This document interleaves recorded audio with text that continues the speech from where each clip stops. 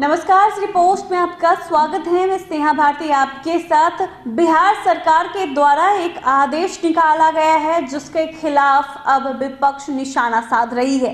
जी आपको बता दें कि विपक्ष की तरफ़ से सरकार को घेरा जा रहा है, साथ ही साथ तानाशाह का भी नाम दिया जा रहा है। दरअसल आपको बता दें कि कांग्रेस नेता प्रेमचंद्र मिश्रा ने बिहार सरकार से सवाल किए हैं। प्रेमचंद्र मिश्रा ने बिहार सरकार पर निशाना साधा है।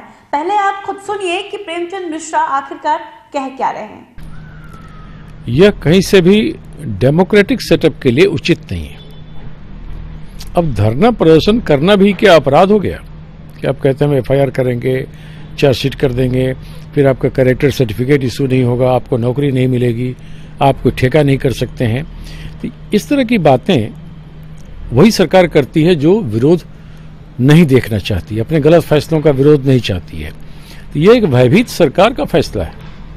आगामी बजट सत्र में, विधानसभा और विधान परिषद दोनों में हम इन चीज़ों को उठाएँगे और सरकार को बाध्य करेंगे कि वैसे सर्कुलर को वापस करें हार बिल फ़िलहाल देखा था कि सरकारी अधिकारियों के खिलाफ आप कुछ सोशल मीडिया में पोस्ट नहीं कर सकते हैं, विधायकों के खिलाफ नहीं कर सकते हैं। आखिर ये कहाँ, कौन सा राज है? ये डेमोक्रेटिक सेटअप है इंडिया में, बिहार में भी।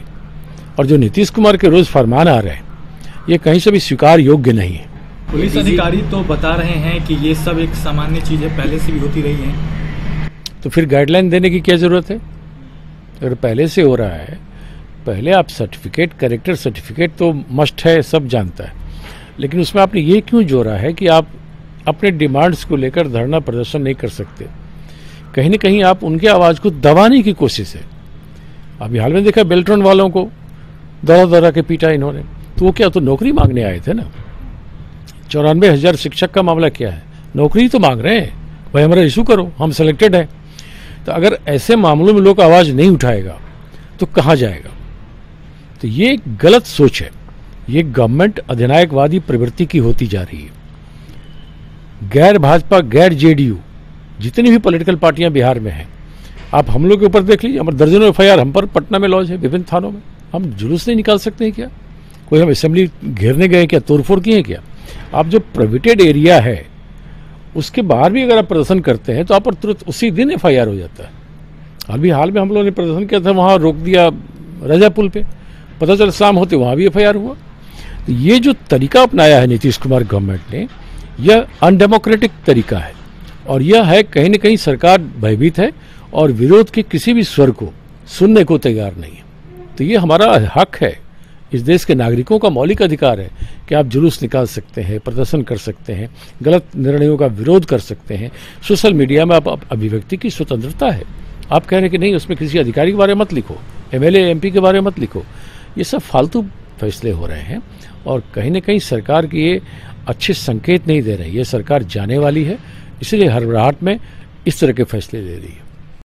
तो सुना आपने प्रेमचंद्र मिश्रा ने साफ़ कह दिया है कि सरकार जल्द गिर जाएगी। जिस तरह से नीतीश कुमार तानाशाह रवैया अपना रहे हैं बिहार के लोगों के प्रति ऐसे में सरकार नहीं चलने वाली है। दरअसल आपको बता दें कि बिहार सरकार की तरफ़ से एक आदेश जारी किया गया है। उस आदेश के आधार पर प्रदर्शन करने वाले अगर किसी आपराधिक गतिविधि में शामिल हो जाते हैं तो उन्हें भविष्य में सरकारी नौकरी नहीं मिलेगी। आदेश के मुताबिक ऐसे किसी भी व्यक्ति को सरकारी ठेके भी नहीं दिए जाएँगे।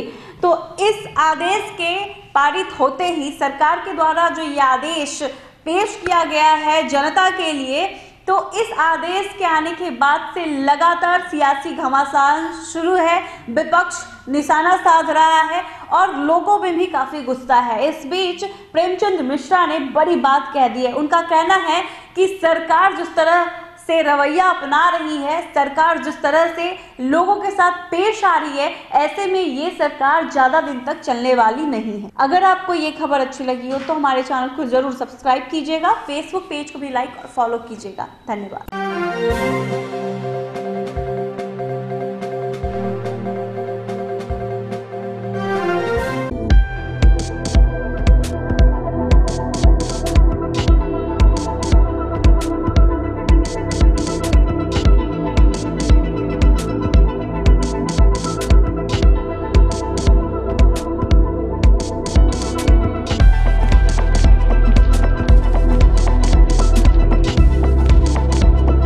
पटना का सबसे stylish essence unisex salon, grand apartment, Fraser road, Dak Bungalow road, Patna.